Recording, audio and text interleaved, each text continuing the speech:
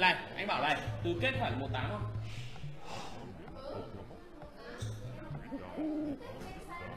Ờ thế vòng sau là vòng chọn ra 8 thằng à? Đâu, không phải là tứ kết. Vòng này là có mấy liên thủ? 16 à?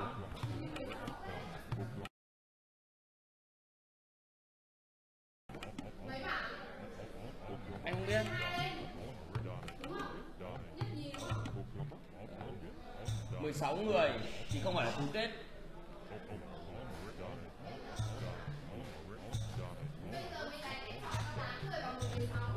ờ đây gọi là vòng 116 đúng không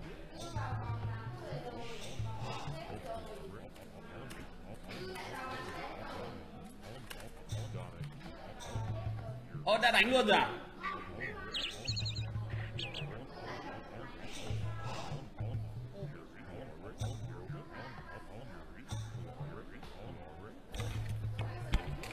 Alo alo.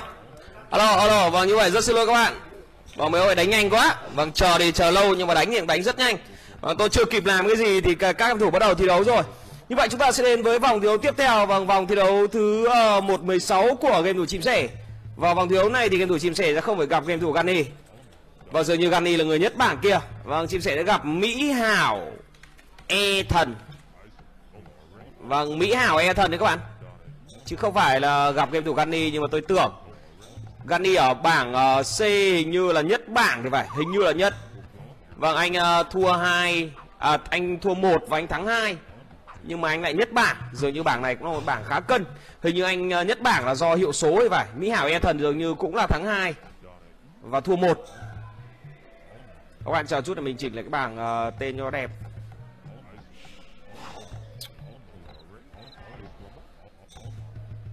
Con chuột đây nó hơi nhạy. Ok. Mỹ hảo e thần m h e t. Ờ, lúc nãy thì mình có ra mình hỏi người phiên dịch là cái, cái mỹ hảo thì có phải là một clan không? Bởi vì mình thấy là có rất nhiều các game thủ đặt tên mỹ hảo ở đằng trước như kiểu là mỹ hảo e thần này mỹ hảo uh, vô địch này mỹ hảo gì gì đấy. Đại khái là có năm sáu ông tên là mỹ hảo cơ. Và nhưng mà đó không phải là một clan mà là một gui. Và tôi cũng không biết là clan với cả gui khác nhau ở cái chỗ nào. Vâng đại khái là một ờ, uh, gui chứ không phải là một clan và chúng ta sẽ đến với trận đấu đầu tiên cho cuộc đầu giữa game thủ chim sẻ và game thủ mỹ hảo e thần liệu rằng chim sẻ sẽ gặp nhiều khó khăn với cả game thủ mỹ hảo e thần hay không? Chúng ta hãy cùng chờ đợi xem. Hiện tại thì các bạn có thể lên uh, fanpage của chim sẻ đến nắng fan club để có thể cập nhật các thông tin cũng như là tình hình. Vừa rồi mình cũng cập nhật tình hình các bạn hình ảnh của bình viên Gman anh rất bình luận và anh đang bình luận rất hăng say.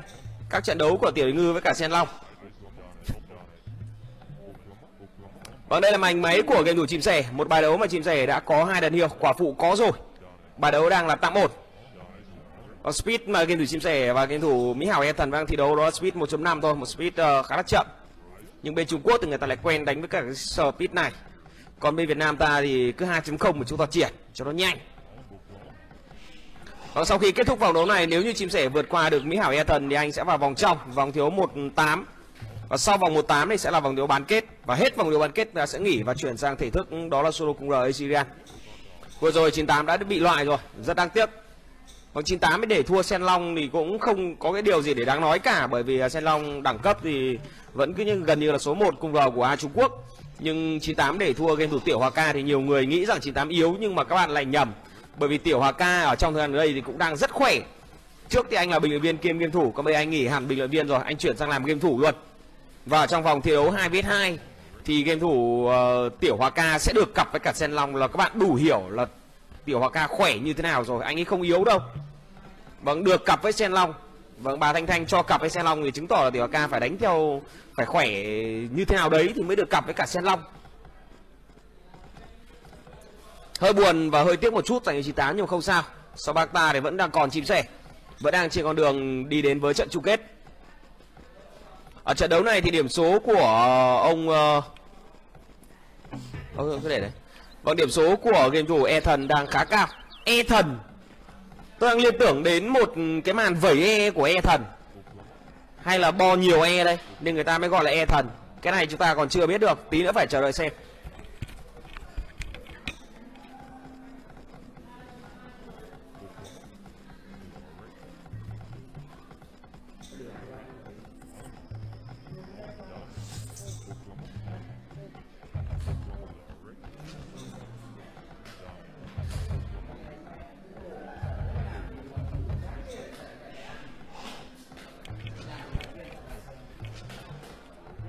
Bọn chim sẻ vừa kích đời rồi đang thiết kế một vài cái ruộng. Trận đấu này tôi đang ra cắt dự rằng nhà của ứng thủ mỹ hảo Ethan sẽ nằm ở vị trí góc ừ, đỉnh 3 giờ. Ở trong cái map solo cái map 1 vs 1 thì thông thường các nhà cam thủ sẽ nằm ở đối nhau. Ví dụ các bạn nằm ở góc 3 giờ như ở 9 giờ thì nhà đối phương sẽ nằm ở 3 giờ. Đó tỷ lệ cao ấy nhá, không phải lúc nào cũng thế. Cũng rất có thể nhà của game thủ mỹ hảo Ethan sẽ nằm ở 6 giờ hoặc là 12 giờ nhưng tỷ lệ nằm ở 3 giờ tôi nghĩ sẽ là cao hơn.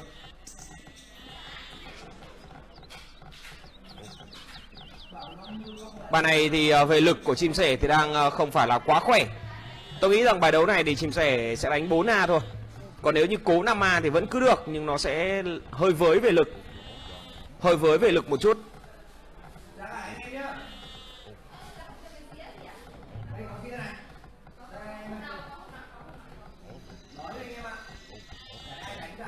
Và cái cam của chim sẻ thì hiện tại vẫn đang ổn. Biết anh em có nghe tiếng game không? Anh em chờ đợi mình trong ít phút hình như là không có tiếng game.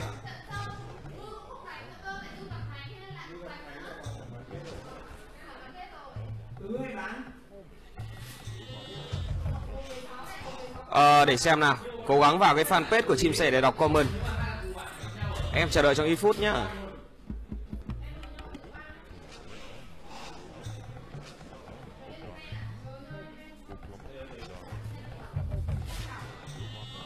Chạm mấy vệ vơ? À, ở vòng này thì vẫn tiếp tục sẽ là chạm 3 thôi các bạn. Vâng mình đã vào được facebook rồi. Vâng lại mất cam rồi tôi cũng cạn lời. Tôi sẽ cố gắng nói nhiều cho các bạn một chút để các bạn có thể uh, vâng uh, không bị uh, chống kênh.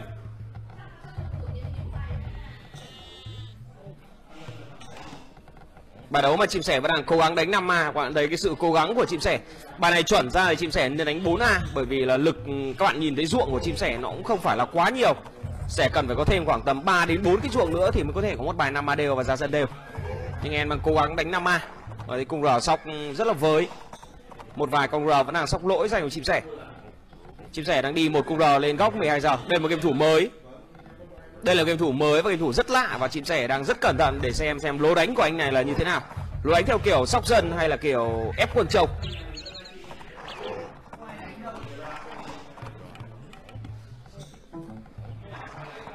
Vâng, vẫn chưa thấy nhà của game thủ Mỹ Hảo Ethan nằm ở đâu. Dường như nhà của anh sẽ nằm ở vị trí góc 6 giờ. Dường như sẽ nằm ở góc 6 giờ. Như vậy là dự đoán của tôi. À không.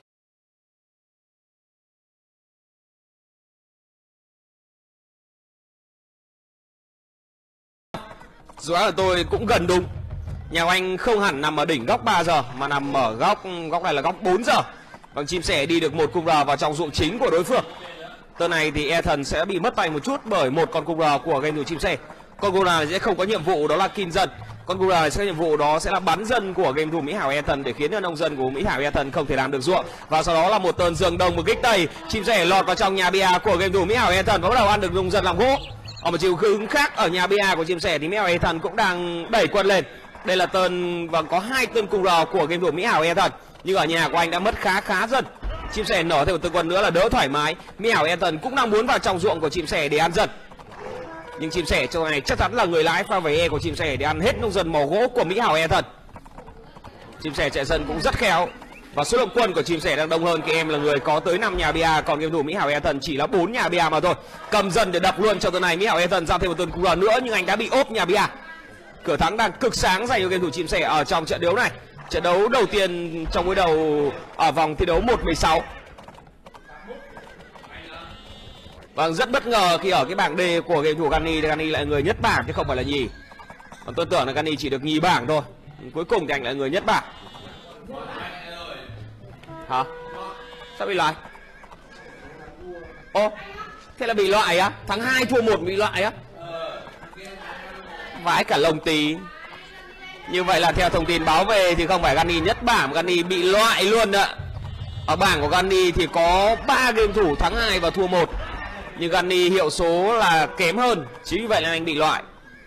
Vâng, tôi cứ nghĩ là anh chắc chắn vào rồi, bởi vì là tháng 2. Bảng có 4 đội, thắng 2 thua 1 mà lại còn bị loại, tôi cũng cạn lời rồi. Rất đen cho Gani. Và xin chia buồn cùng với Gani. Vâng và chúng ta cùng quay trở lại để đến với trận đấu này. Như vậy đây là game thủ à, nhì bảng và game thủ Mỹ Hảo e thần là người nhì bảng rất phí chim sẻ đang móc máy xung quanh nhà của game thủ mỹ hảo e thần và chim sẻ cũng đang có cung gờ bên trong trụ chính của game thủ mỹ hảo e thần luôn chim sẻ kích chặt quá và vẫn là một bài nằm mà vắt đều không biết rằng với cái việc mà bị mất nhiều dân như vậy thì liệu rằng mỹ hảo e thần đã tăng được chiếc nhà bia thứ năm chưa nếu chưa thể tăng được chiếc nhà bia thứ năm thì rất có thể anh sẽ phải nhận một trái đắng ở trong trận đấu này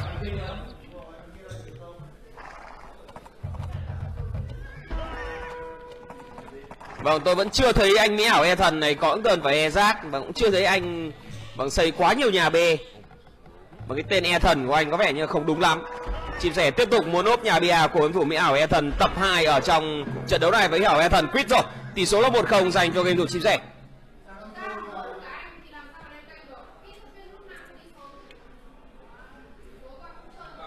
Vâng, rất đáng tiếc cho Gandhi. Vâng, kết thúc vào đấu bảng anh ra anh khoe là anh thắng 2 thua 1. Bảng 4 người thắng 2 thua 1 mà bị loại nữa chịu rồi.